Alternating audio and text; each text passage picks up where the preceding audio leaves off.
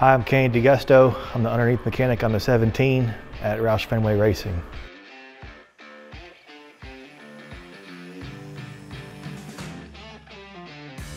I will take care of all the uh, suspension, spring shocks and stuff, basically firewall back underneath is my responsibility. Anything like hubs, track, track bars, stuff like that.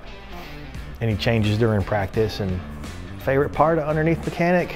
I don't know, I've always been kind of like a just get after it guy, you know, or whatever, and that's that's the main part of that. You know, that's probably 80 to 90% of your changes for, you know, is done into there, so you're just kind of steady digging and I like being busy like that, you know.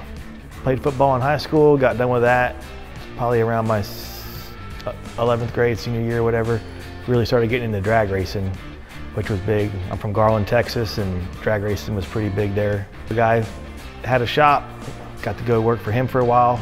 Worked at Super Shops in Dallas, which most people won't even know what that is anymore, but that was like a performance auto parts store back in the day. Um, this is in the 90s.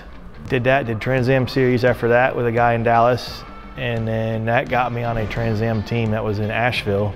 And then when I was in Asheville, a couple guys that were there, you know, said, hey, you're good enough, you could probably do it in Charlotte, you know, and moved to North Carolina and uh, did some small team stuff from in like early 2000s. And then I got the job here in 2005 and been here ever since.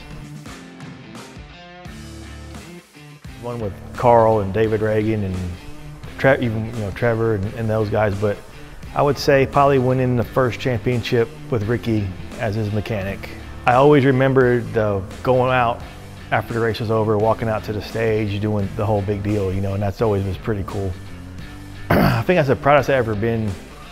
Just you know, that's a hard accomplishment. It really is. You know, people can say what they want, but and then you know back it up we did it the next year too that was pretty that was pretty neat too but that first that first night you know just doing it and getting it done and that was pretty cool you know i won at a bunch of them you know bristol and atlanta and, and uh, talladega daytona you know and no i don't get old oh favorite hauler snack uh, probably peanut butter cups or something yeah I don't, believe it or not, I don't snack that much. I do now because I'm home a lot, but.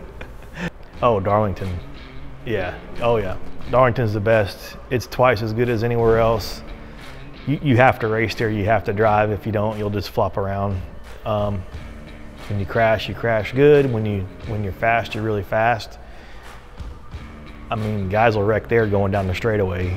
You, know, you just, and you kind of, you know, it, the place is like walking back in time a little bit, and, and I like that part of it. You know, that was my whole thing for even NASCAR. I just always, I always liked the history side of it and stuff like that. You know, and uh, yeah, if you're gonna be, if you're good, that's where you're gonna be good at.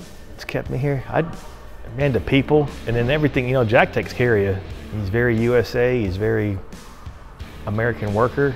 Um, he looks out for his guys. You know, he puts people in place that looks out for his guys. Um, he don't mess around either. You know, you you're gonna be right. But you know, honestly, winning is expected. If you get to do a little celebration afterwards, great. If not, you get ready for the next race. You know, and that's kind of that's the attitude I've kind of always had towards it. I've never I've seen a lot of people work here and leave and then come back, and I've never seen that anyone say, "Oh, I worked over here and I left and I tried to go back." You know, like everyone tries to come back, you know. And then I make fun of them. what you would tell someone trying to get in, you know, it was it was tough at first.